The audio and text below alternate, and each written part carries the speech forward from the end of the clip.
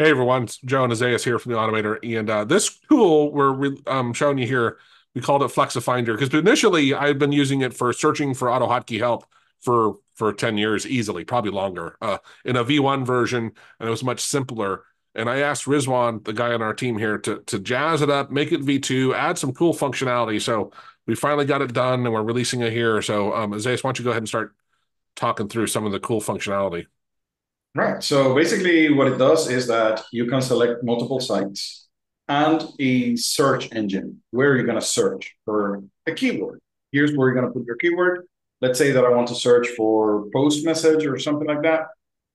And I want to search for that keyword in Stack Overflow, the Automator, and YouTube, and the AutoHotkey V2 documentation, but not the V1, right? So I could choose those sites, hit search, and it goes ahead and opens a few websites. And you will notice here, let me see. So here you will see that it will open up the Google website. And on the site parameter, it would put whatever you gave it. And that means that the results that you're getting are more likely to come from that website that you're looking for. Well, and that means that you will be able to get more relevant it, answers it forces Google to say, use Google to search this site and give me the results, which a lot of websites have a search tool, but their search tools are crap. And and Google yeah, does yeah. a better job of searching other people's sites than your own search tool on your own site. So that was right. That is correct. Yeah.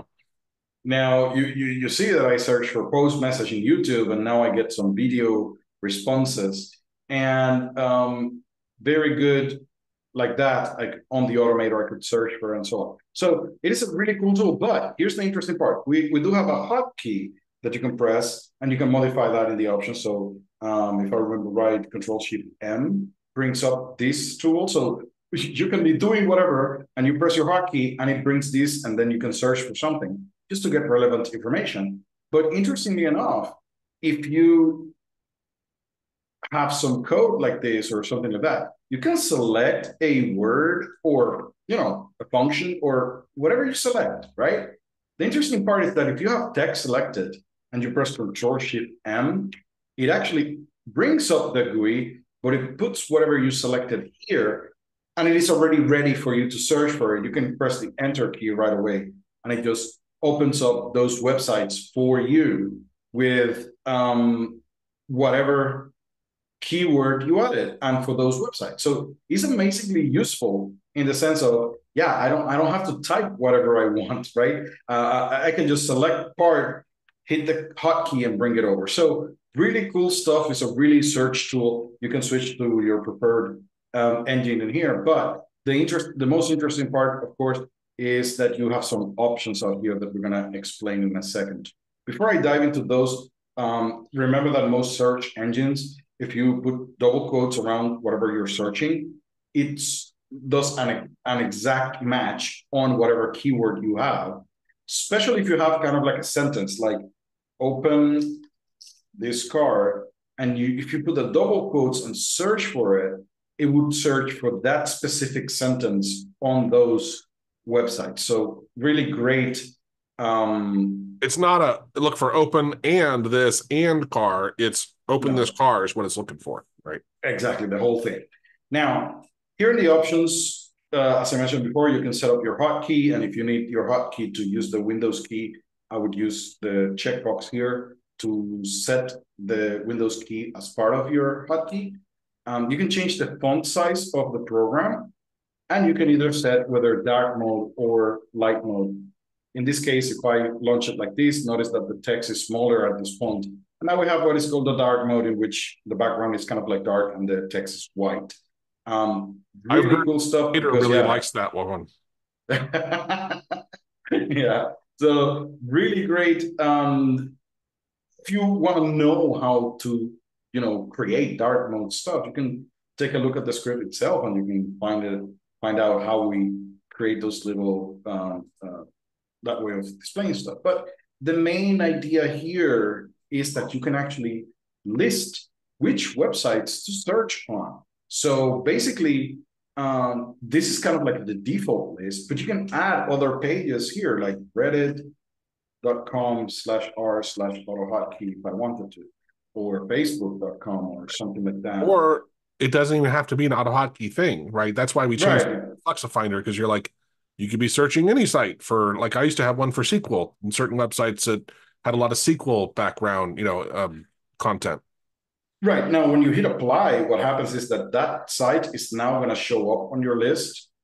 And later on, whenever you're searching for something, you can choose to add to show to search on that URL.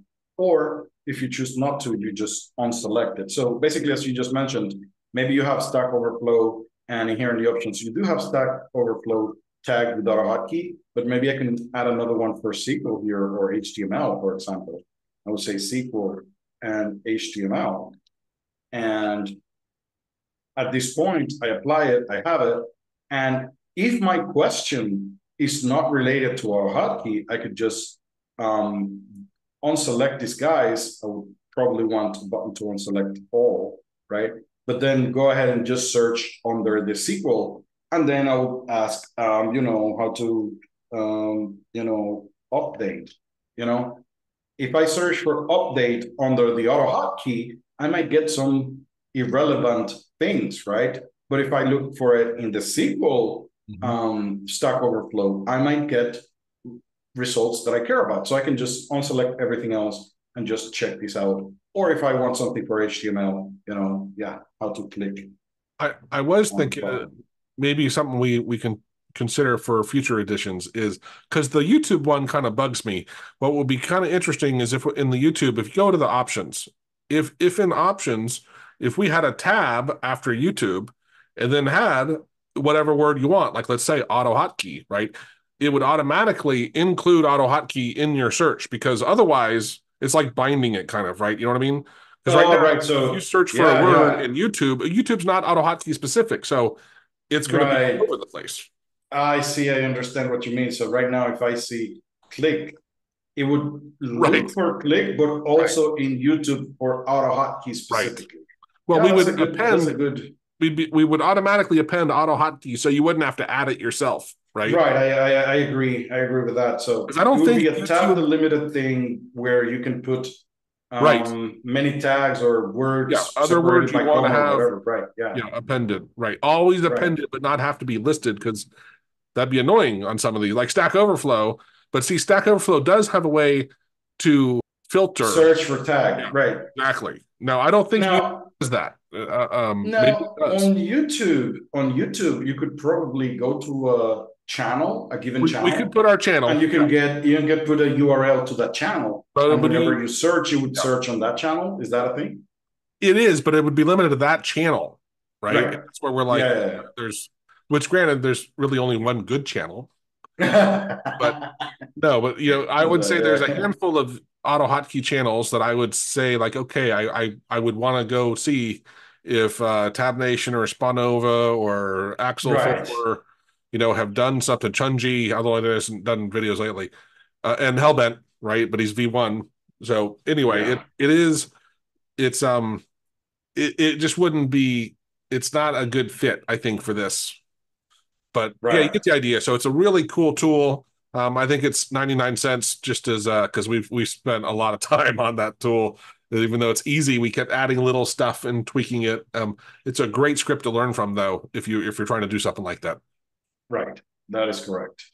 All right, thanks for watching, guys. Again, remember we have um, auto hotkey courses. We teach people auto hotkey, and our hero group is great if you're just trying to level up and learn. This is where you could bring a script like this and say, "How would I do this?" and we can show you how to tweak it and stuff. That's which is what a lot of people do is they bring their code there, and we just help them nudge them in the right direction. So, hope that helps. Have a great day. Cheers. Right.